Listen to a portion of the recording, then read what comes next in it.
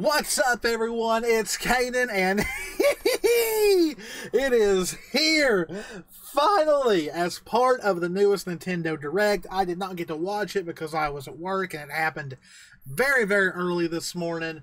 Early enough for me that for me, Rune Factory Guardians of Azuma announcement trailer formerly known as Rune Factory Project Dragon. We finally have an announcement trailer. We finally have an announcement year and target time of release. I have not watched this. I just quickly, uh, you know, uh, retweeted it and then left my Twitter for most of the day to ignore it because I wanted to do a reaction to this. I am so excited. I'm actually maybe more excited for this than Rune Factory 6, but then again, we don't know anything about Rune Factory 6 except it's going to be set in the same area where 1 through 5 takes place. But this one, this one takes place in the East, where a a uh, Rune Factory game has never taken part in and this is going to be somewhat different. I cannot wait. Guardians of Azuma, that's a very um, Japan, kind of like Inazuma in Genshin Impact, which right now Genshin is in um, maintenance for 5.0, though I'm I just reached Inazuma last night. I've been playing the game on and off, okay? Just now finally reached Inazuma, so but yes, it's going to be very like it's going to be very um, Eastern themed. But uh, yeah, two minutes and 19 seconds. Let's see what this has got for us. If you guys love RWBY, Final Fantasy XIV, Genshin Impact, Honkai Star Rail, horror games, farming games, make sure you please hit the subscribe bit button, hit the notification bell, click that like button, all that good stuff. I am going to go over the trailer a little bit after we watch it. So let's do it. It is going to be on the Switch again. I'm kind of worried about that, but I'll go over that in a little bit. I should have turned captions on, but I'll turn it on for the to rewatch it. Guardians of Azuma. Okay, we've seen this. We've got English voice acting. I love her design so much. So far, I do kind of prefer her voice acting. No memories, that's it's common. Wooly, okay. A woolly with uh, with ears, with ears, with horns. I offer these humble words. Great entity Kaguya. That's their default names. I'm pretty sure you'll be you might be able to rename them. We got some characters in the back. Two protagonists. Okay. I have another request, Earth Dancer. Okay. There's the farming. Okay. Oh, we can actually build stuff? Six gods, okay. We'll Go, so six areas? Azuma's gods must perish. Every last one. Okay. Who are you? Anyone who stems the flow of runes must be eliminated. Stop! We don't have to fight! I think we would make a fine team. If you're going, then so am I. Wait a minute. Burn to ash! The barrier is down! Let's dive right in! Kaguya! voice. Okay, so I've regained. All right, there was a marriage, so the the names are voice. So no matter what, I guess you remember everything. You might not be able to name the protagonist. And it looks like both protagonists exist regardless of who you play as.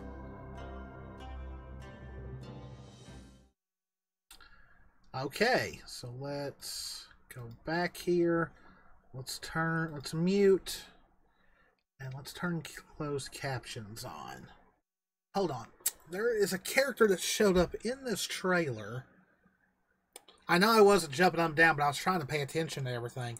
Because, I mean, it's not like it's not showing us stuff that we didn't expect. So there's nothing to really scream about. Um, let's see.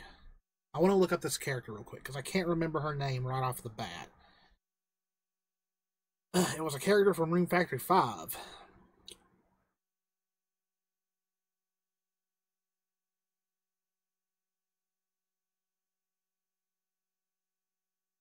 I cannot remember her name.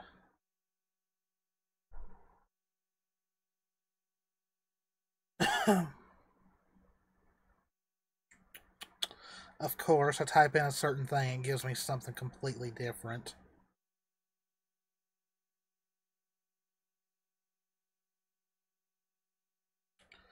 Because I don't want to just be like, oh, that character from Rune Factory 5. It's been so long, I completely forgotten her name. Ah, there we go. Okay. Alright, so let's scroll. Okay, so Nintendo Switch. So I believe it's also been confirmed that this game will be on Steam, which is great, but I don't like unless it's a completely like I don't know. I don't know how this game is going to run on the original Switch because the original Switch struggled to play Rune Factory 5 and this game looks like it's going to be more open worldly. I don't think it's going to be 100% open world, mate, but maybe. But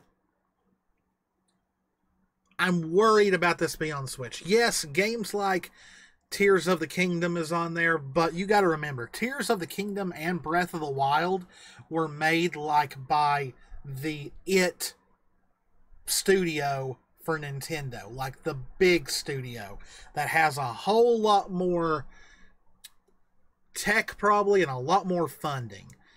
I think Marvelous is the one once again doing the Like, yeah, it, of course it is. Um, but I don't know who the publisher for well for America is. I hope it's the same one for five. and It might be might be different, but it's the same comp, same publisher, same developer. I'm pretty sure. So that kind of worries me, but I'm hoping it runs better. That's the one thing I'm hoping for. A calamity that befell the land. the celestial collapse, and it says all four seasons have yet to return to Azuma. So that kind of goes with the theme of Rune Factory is bringing nature back. Um, so yeah, that fits. So Rune Factory, Guardians of Azuma. And once again, we see the two protagonists fighting here.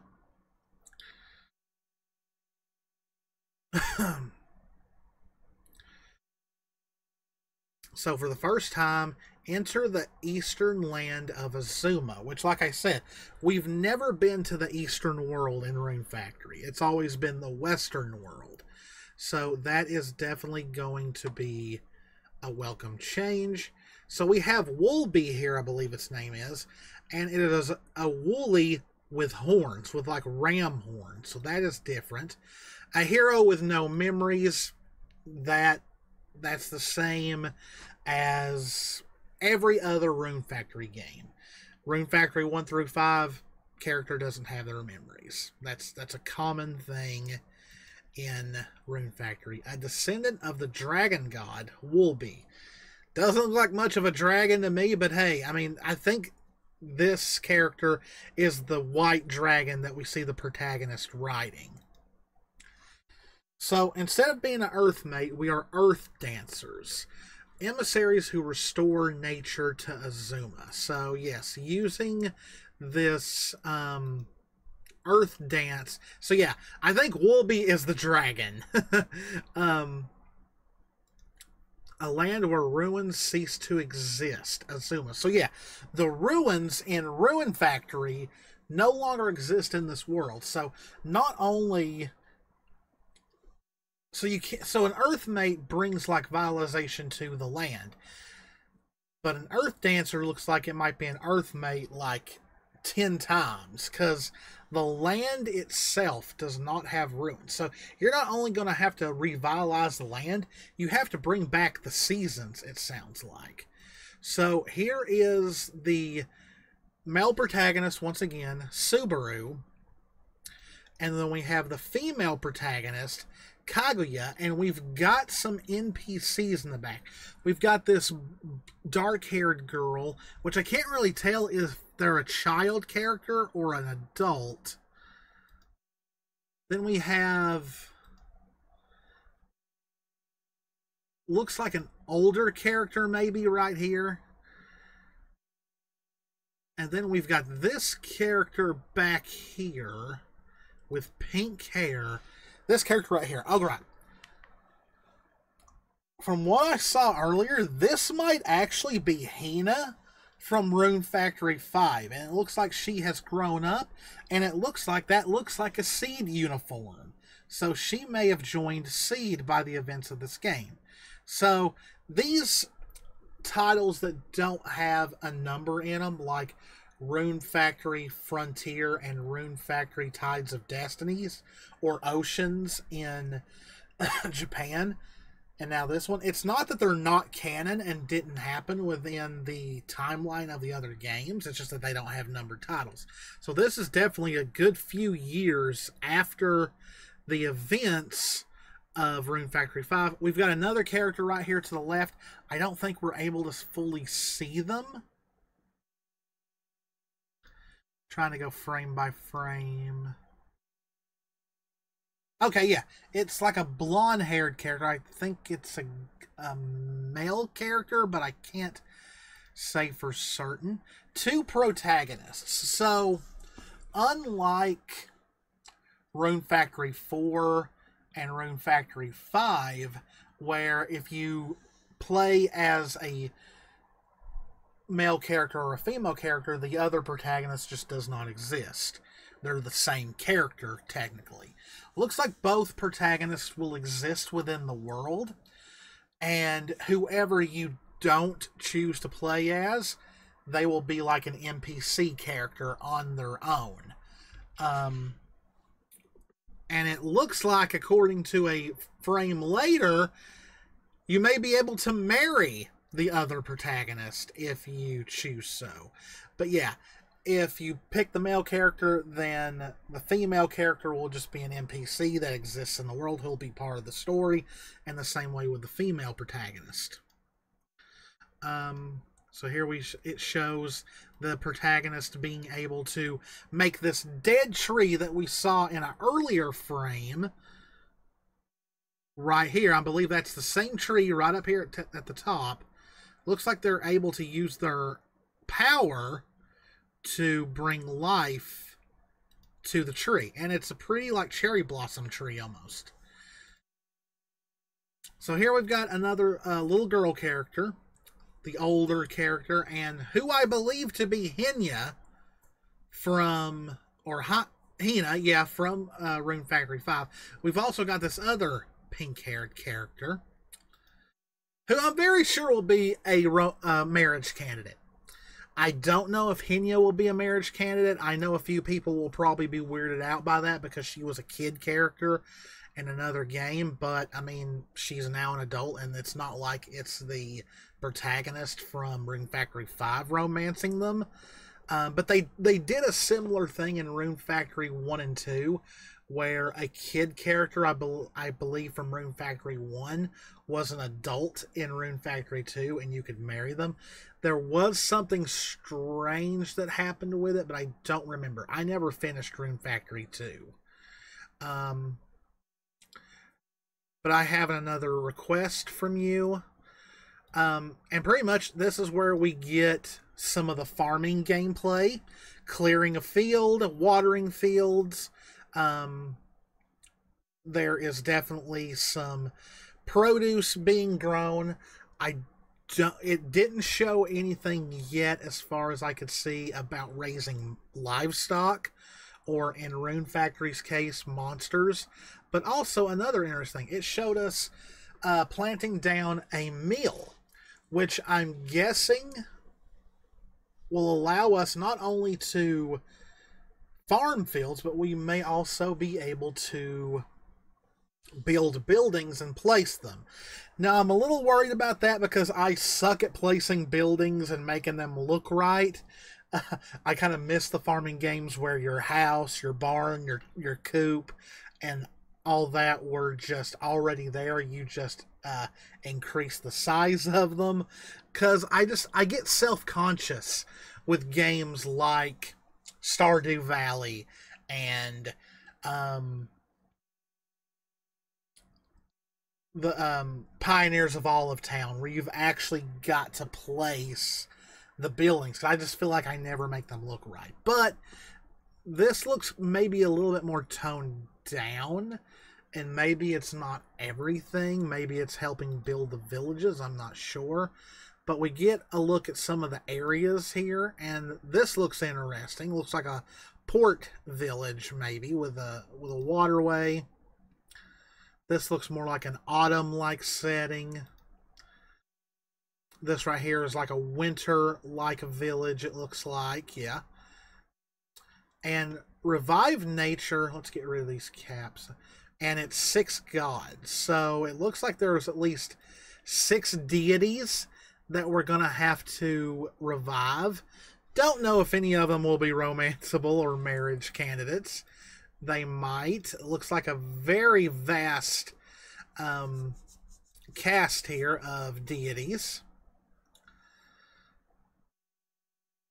What's this? Yeah, very vast cast. And then we got some story going on here. Yeah, definitely Woolby is the dragon. And I think it shows both protagonists riding that one. So yeah, of course, whoever you decide will get Woolby as the dragon, and the other one will have the darker dragon. Those who seek to conquer. So this looks like definitely some villains. I don't know if this will be like the Sechs. Like I think the Sechs empire fell in earlier games. I don't know if this will be like the other empire from like five or if this will like it's it's definitely a more technologically advanced empire that wants to take over um, and crush nature.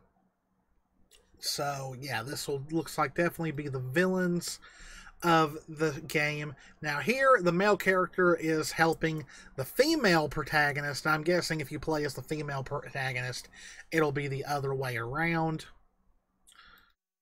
We got some fighting going on here.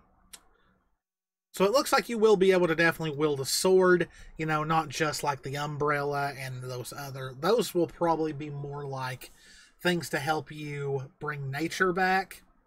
We got some more. This dark dragon that the other protagonist has. I'm wondering about that. Yeah, two opposing fates. So, who whoever the protagonist is will have the white dragon, which is Woolby, and the other one will have this dark one. And I'm guessing you will start off as enemies and then eventually uh, work together. There's this blonde haired character again. Yeah, let's look at some of these other characters that they showed off. This, yeah, this is definitely Hina from Rune Factory 5, who is now grown up and is a member of Seed. So, following kind of in the footsteps of the protagonist of Rune Factory 5, but she more than likely will be a romance candidate this time around. Um, we got some more fighting with some monsters here. Um, I always say that Rune Factory is definitely.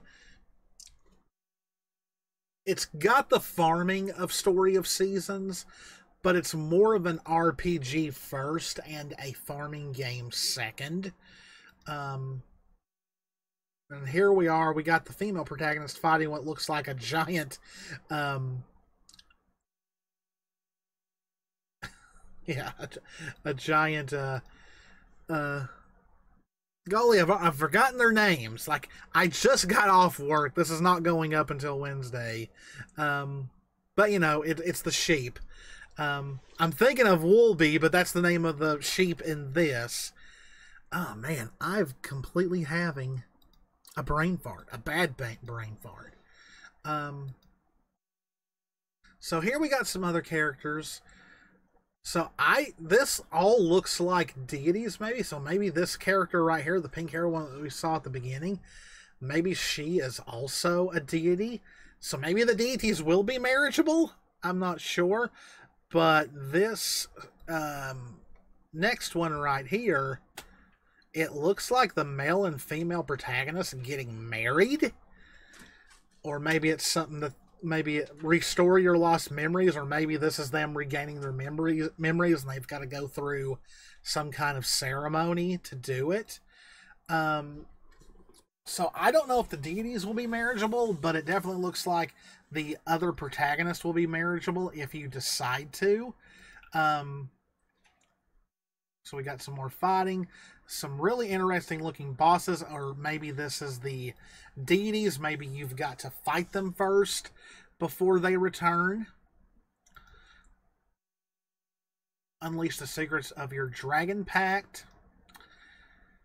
And yeah, Rune Factory, Guardians of Azuma, coming spring 2025. So, fairly early in 2025. Um, and yeah, it is coming to Switch, and I believe I saw that it is also coming to Steam. And there will also be a Earth Dancers edition. They'll come in a box with some good extra goodies. But um, I def like I love Rune Factory but I think after Rune Factory 5, it needs to stay the course and still have things like same sex marriage in it. So I want to wait until I get fully excited and see the marriage candidates and get some hopefully clarification on that. Because remember, when Rune Factory 5 first came out in Japan, it did not have same sex marriage, but the localization team made it to where there would be same sex marriage in the other versions of the game, and then the J- Japanese version added it later. So, as always, I prefer the female protagonist, so I like her design a little bit more, though they're kind of the same.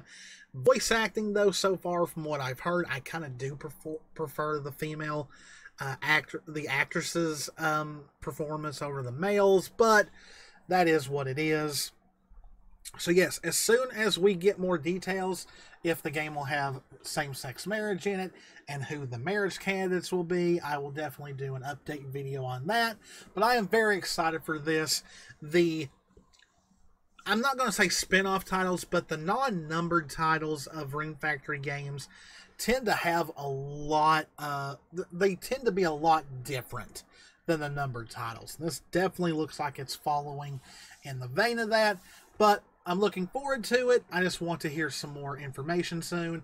But I hope you guys enjoyed it. If you did, please hit the subscribe button, hit that notification bell, click that like button.